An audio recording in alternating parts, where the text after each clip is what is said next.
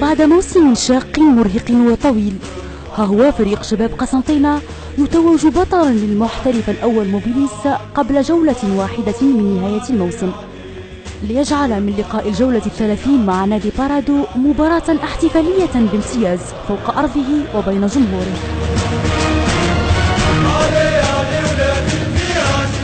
اللقب الثاني لأبناء الجسور المعلقة جاء بعد صبر وعمل كبير. فالسنافر تربعوا على عرش الصدارة منذ الجولة السادسة.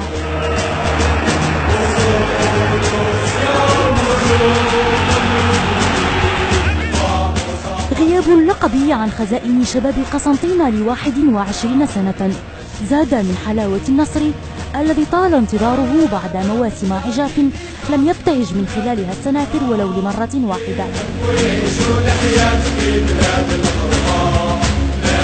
الذروة الثاني في تاريخ النادي سيفتح شهية السياسي المتعطش للألقاب والباحث عن عودة جديدة يفرض بها هيمنته على الكرة الجزائرية.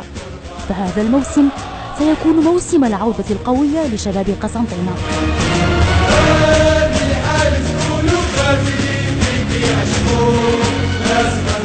الفوز بالبطولة المحترفة الأولى سيفتح الباب لأبناء المدرب عمراني للمشاركة وإثبات قدراتهم في رابطة أبطال إفريقيا. الكرة ليست مباريات ولا نتائج. الكرة جمهور يساند فريقه في الحلو والمر. وجمهور السياسي أبدع في مناصرة فريقه وأثبت بأنه جمهور من ذهب. ليس بغريب عن مناصرين توجوا الموسم الماضي بلقب أفضل جمهور جزائري